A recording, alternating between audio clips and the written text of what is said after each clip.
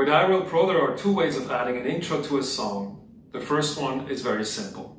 For example, let's take All of Me and let's start by increasing the number of repeats by one.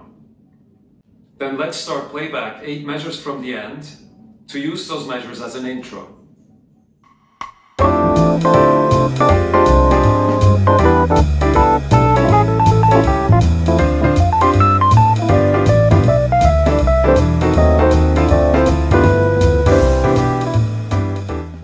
If you want to add a custom intro, you need to do so in the editor.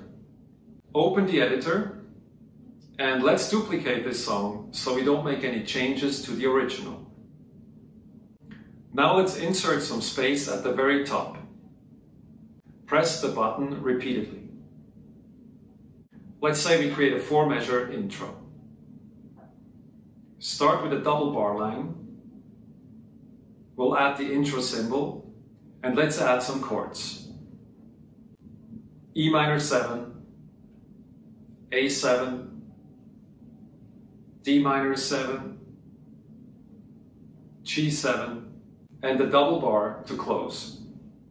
Let's also add some vertical spacing to better differentiate the intro from the main song.